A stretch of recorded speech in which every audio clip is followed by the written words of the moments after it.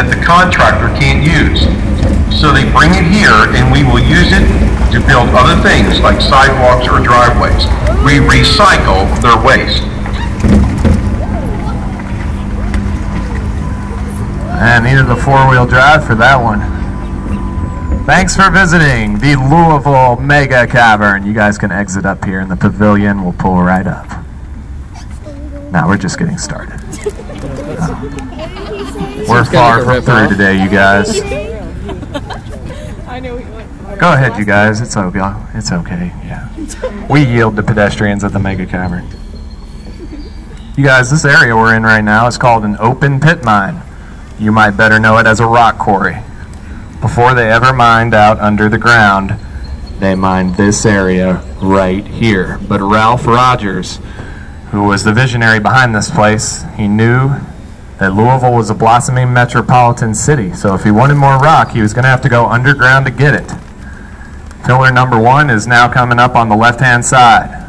This is the main roadway, entrance one into the cavern. And in the history of the cavern, there's only been one death on record, and that did happen here at entrance one. On a cold winter day, icicles formed above this entrance, and one broke loose and impaled a miner. It's a tragic story, but we've moved on. Just to your right is the office of the manager, who controls the storage of everything in this cavern. Don't let that slacker fool you. It's not him. But we do store anything and everything down here. New cars, classic cars, boats, RVs, campers, trailers, jet skis, motorcycles, almost anything that you could think of. It might be stored right here underneath the city of Louisville. And it looks like we have a few more trammers to add on. Welcome aboard. I do regret to inform you that you will not be learning about the wonders of road salt. Other than that, we haven't really missed you haven't missed much, okay?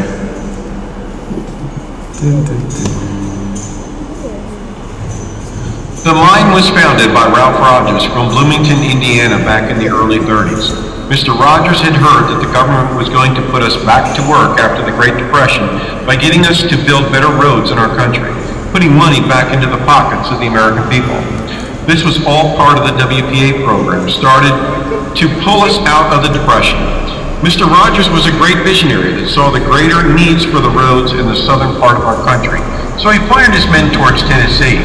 When they got into Louisville, Kentucky, they opened several rock quarries, and this was one of them. This one was closed in the early 70s, but the other rock quarries are still open today. If you look at the white painted rock walls and then look at the flat walls created in between them, what we have done here is to create usable storage space in between the pillars that hold up the ceiling to the cavern. Each of these rooms has a big dehumidifier that will remove the humidity in the rooms. We do not heat or air condition the rooms. Mother Nature takes care of controlling the temperatures in our cavern. We will average about 58 degrees all year round, no matter what the temperature is outside. The walls are all painted white in order to help us light up the area. White walls reflect the light better, letting us use less lighting to illuminate the underground.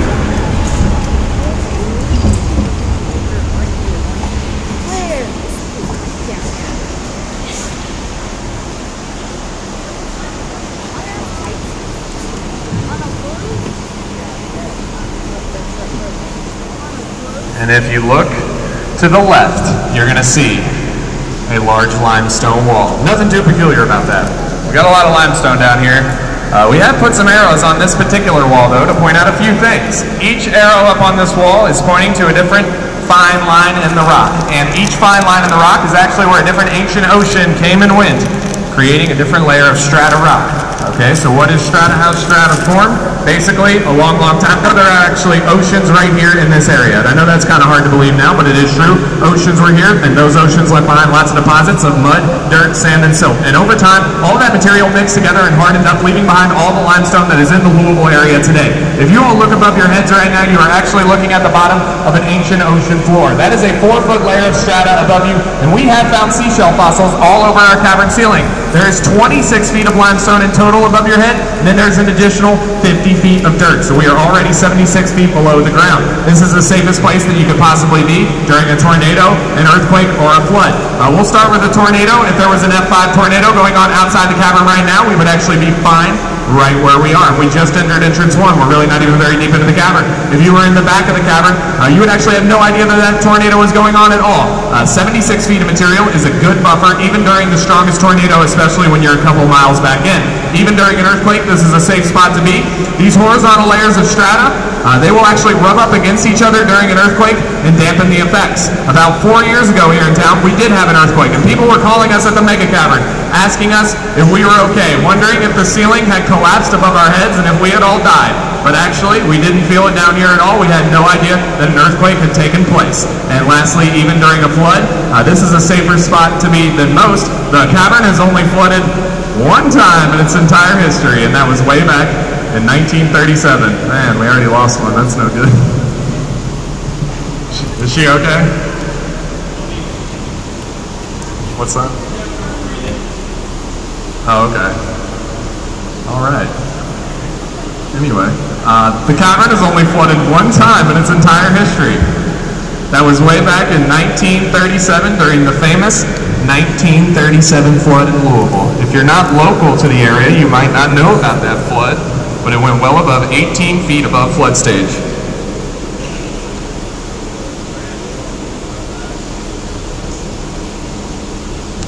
Anyway, uh, limestone also plays a key part in two of Kentucky's iconic industries. These should be the first two industries uh, that you would think of when you think of the Commonwealth of Kentucky. Does anybody on the tour have any idea what industries I'm talking about right now?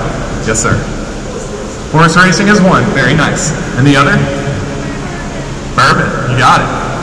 90% of all bourbons are distilled within 90 to 100 miles of where we are right now. We have brands like Jim Beam, Woodford Reserve, Maker's Mark, uh, Kentucky Tavern, Kentucky Gentleman, Bulleit Bourbon, Heaven Hill, Evan Williams, Early Times, Wild Turkey, Four Roses, Buffalo Trace, Pappy Van Winkle, Very Old Barton, Old Forester, Knob Creek, Elijah Craig, Old Crow. There's a lot of bourbon made here is my point. Bourbon distillers call the water that comes out of limestone hard water. And they say that hard water makes their bourbons taste a whole lot better. That's why they're all right here in Kentucky. A Kentucky bourbon is technically not even a bourbon at all unless it is made with limestone filtered water. That's one of the key ingredients along with a 50% corn mash and aged in a white oak barrel. And the other bourbons that are actually made outside of Kentucky we don't talk about those bourbons. And horse owners and breeders set up shop all over Kentucky. It's not just because we have uh, pasture. We are on a bed of limestone. All the minerals get into the water.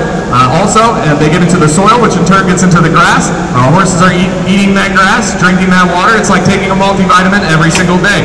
We had Chip Woolley, who is the trainer of Mine That Bird who was a Kentucky Derby winner, if you don't know that. Uh, he came in here, he said you can take a blood sample from any horse in the United States and determine where it was raised based on the mineral content in that blood sample. And predictably enough, uh, Kentucky horses by far have the highest mineral content in their blood samples. So that is why we have the thoroughbred capital of the world right here in the state of Kentucky. Do you guys have any questions, though, before we move along about the industries or anything like that?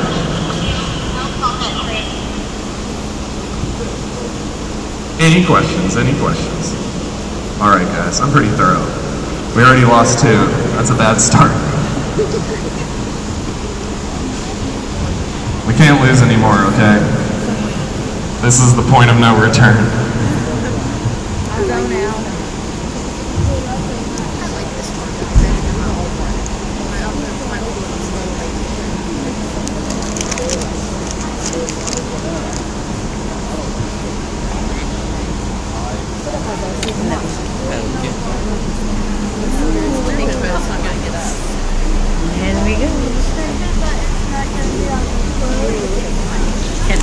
It's going to start to look a lot more cave-like from this point forward. Every cave or cavern you go into is going to have a problem with water. We are no exception. Water from the surface moving down through the rock or from underground spring water.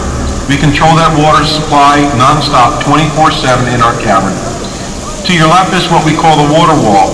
The water moves through the rock, pulling the minerals out of the rock, and it creates what they call flow stones. These flowstones you are looking at on this wall are made up of calcium carbonate, aragonite, gypsum, and other minerals left behind from the oceans that created the rock in this area.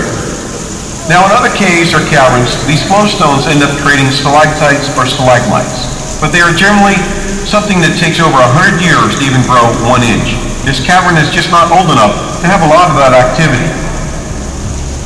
We can show you a stalactite later on, near the end of your tour, that is growing very fast in our cavern. Sometimes they can grow a lot faster.